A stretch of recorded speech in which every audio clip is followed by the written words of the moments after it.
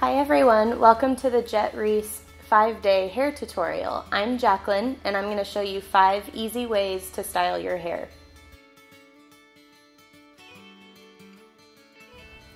For day 1, after first washing my hair, what I like to do is perfect my naturally air dried hair. So this kind of works for any different hair texture. You can choose to style it, blow dry it, whatever you like to do. This is my hair naturally dried. I naturally have straight hair, so what I do is put my hair in a really, really loose braid the night before. And I like to secure it with one of these at the bottom. These are the Invisibobbles, so they don't leave any crimps in your hair from a hair tie, which is important so that it looks natural. Then what I like to do is use some City Swept. This just adds a lot of nice grit to your hair without being too overwhelming. And you can see I just loosely pick it up.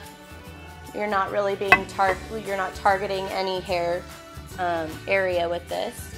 And then I'll take my curling iron. And what I like to do is take pretty big sections and I'm just gonna kind of twist my hair in the curling iron. You can see that this is not a very technical curl. I'm just honestly making some nice bends in my hair so that it doesn't look so straight and limp.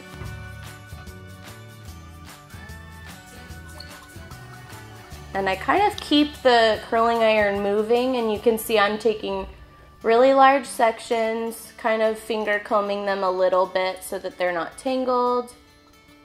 And again, not making a very precise curl, just adding a little bit of lived in texture. With my amount of hair, I usually will do this in about five or six big sections. And this might be different for you, but whatever works.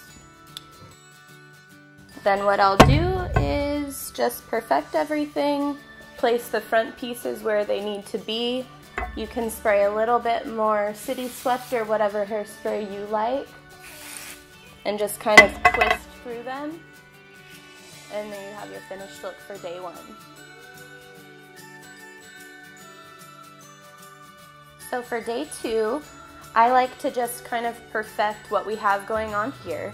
What I'll do, and this works for any part, is I just like to flip my part and add some product. So what I like to use is dry spun. It's just a really airy, dry texture spray. So I've flipped my part. Again, this works with any part. Just flip it the opposite way that you normally do. And I have this teasing comb, and what I'm gonna do is just loosely lift up some big sections and just give it just a couple nice teases. This is obviously optional, it's just to add extra mess and volume if you like that kind of a look. And I'm just going to take my curling iron again and just kind of perfect these pieces because they were curled the other way for the, for the day one look. And that's it. You just fix that first front piece and anything that you feel needs to be going the opposite way. So just as an added option to add a little bit of extra drama to this look, you can add a little bit of product. I like to use Brilliantine for this, just a nice grooming cream. And you can just kind of run that over your hair and kind of put that behind, put one side behind your ear. It just kind of adds a little bit of extra sleekness to this look. And that's the finished look for day two. So on the third day, what I like to do is what I like to call a side rope non-braided braid. So I bring all my hair to this side. I'm gonna just use a little bit of, again, just a different grooming cream. This one's called Cream Contour. It just adds some fullness to the hair and some shine. And it's a good idea to brush your hair out before trying to do this look. What you're gonna do is gather all of your hair to the side, whichever side you prefer, put your index finger through, directly through the center of these two pieces, and you're gonna create two. What you're gonna then do is turn them both toward each other. They can either go toward each other or both away from each other, but they just have to go in opposite directions. So I'm just gonna keep twisting a little bit. And once I get about this much twist, I'm gonna take my index finger again and I'm gonna put it through both pieces of hair. So with my left hand or non-dominant hand, I'm still holding these pieces, but you can see I'm putting my index finger through both pieces and I'm gonna use that to create two new pieces. Then I'm gonna continue to twist those two new pieces again in the same direction that I did the first So I'm choosing to go inward. And you're just gonna twist for a couple of inches and then use your thumb or your index finger, whichever is easier for you, and put them put it through the pieces and create your two new pieces. We'll do that one more time. And it's okay to twist them at different times, just again make sure that they're going the same way. So I'm just gonna walk you through that again, this time a little closer up so you can see the placement of my hands. We're twisting toward each other. And then with either your thumb or your index finger, whichever is easier, you can even kind of meet in the middle with both. You're putting your finger through and you're creating your two new pieces. Going back again, we're twisting those pieces.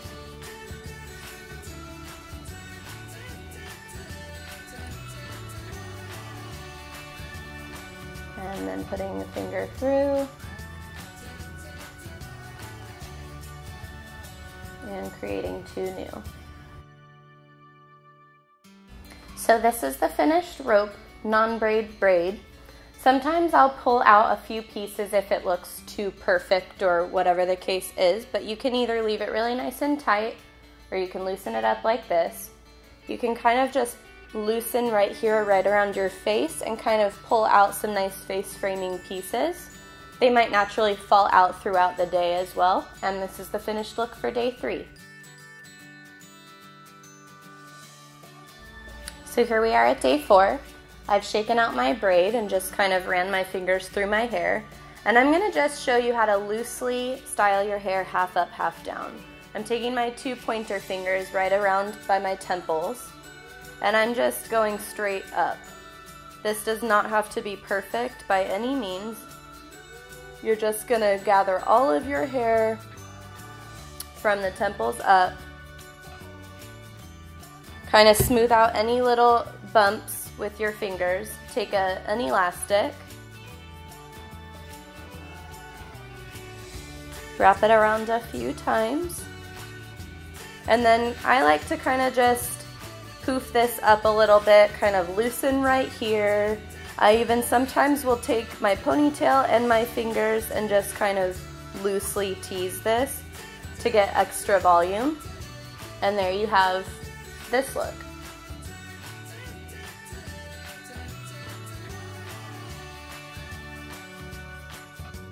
I'm just going to show you kind of a fun, edgy alternative to this look. This is easy to do if you wear your hair like this throughout the day and then maybe you're going to go out later that night so this is taking your look from day to night. So we have our half up, half down ponytail. We're now just going to do the same thing with our pointer fingers but we're going to start right above our ears. And we're to bring all of this hair and connect it with this ponytail. This does not have to be perfect. None of these looks are meant to be. This is easy, effortless, casual looks that you can do every day at home. So we're gonna kind of just smooth this out a little bit. Take another elastic and we're connecting this ponytail that was half up, half down with this group of hair right here. And we're making a new ponytail. And this is kind of a fun, different way to make a ponytail that's just a new look. So we have these two sections right here. And now what we're gonna do is gather all of the hair at the very bottom, right at the nape of your neck. Take a third elastic, And you see I have all of this hair connected at the bottom and I'm making a new ponytail. Now what I'm going to do is kind of fluff these up a little bit. And this can be as, again, as tight or as loose and casual as you'd like. You can kind of loosen up right here around your face like I showed you with the side braid. And you can even use your fingers to kind of tease this just a little bit, just like the half up, half down. And this is the final day to night take on day four's look.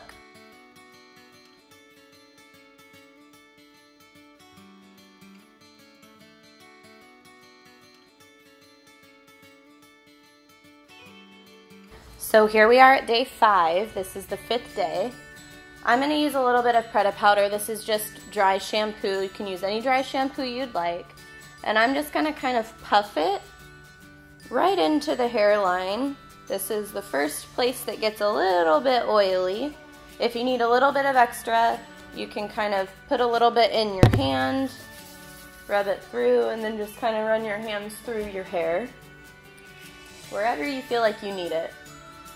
The look I'm going to show you for today is your typical top knot. The way that I like to do it is I'll just grab an elastic, gather all my hair starting at the bottom with open hands so you're kind of combing as you go. Gathering all of your hair at the top of your head. Kind of smoothing out any little lumps and bumps. Again, this doesn't need to be perfect. The top knot is a definite effortless look. So you have your ponytail up here. I'm going to twist. As I, as I get about this much through, so halfway through, I'm going to twist all of this, grab the bun, and let go. So this is what you get when you do that. Now what we're going to do is gather all of this puffy hair. We're going to kind of twist it around the back of the bun and tuck it right in to that elastic. So just find anywhere that you can kind of get your finger into the elastic and tuck that right in and you have your top knot.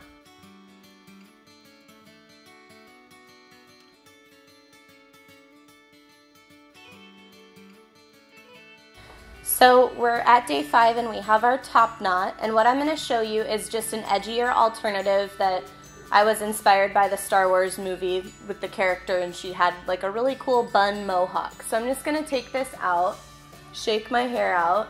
If you wore your hair in a top knot all day and it's still really messy because you're on day five and you're gonna go out to dinner or happy hour with your friends, this is an alternative that you can do instead of just a normal old top knot. So I'm gonna start at the temples, just like I did with the sum up, sum down.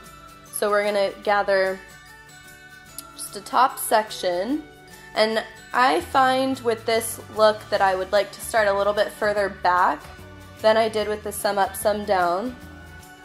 So with what I mean by that is I'm going to have the bun more about right here than up on the top of my head. We don't want to look like a pineapple.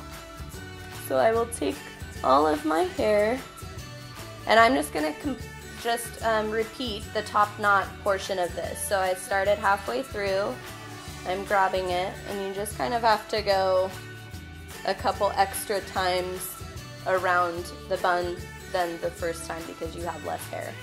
So we're to start there. So we have one little bun. Now we're to start right about behind our ears and we're to go kind of back to kind of mimicking what we did with the three ponytail, the triple ponytail look that we did for day four. So we're just gonna kind of play around until we find a good amount of hair to use for this. We're gonna pick up another elastic and we're gonna make another bun.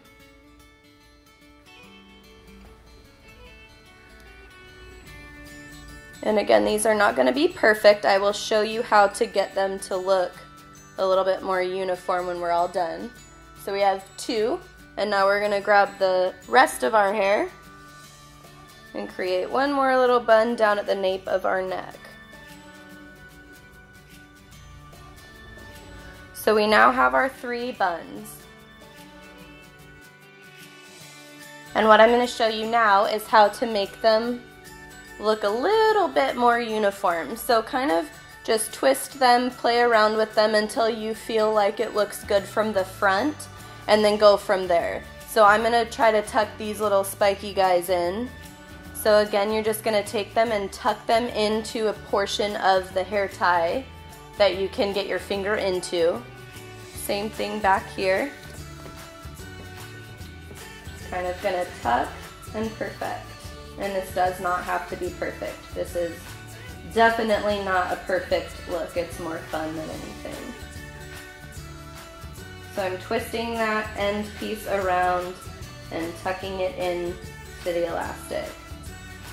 And here you have the final look.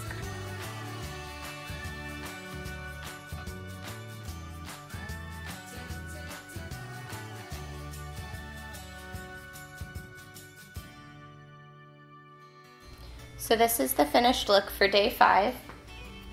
I'm just gonna use a little bit more hairspray. Just kind of give it an all over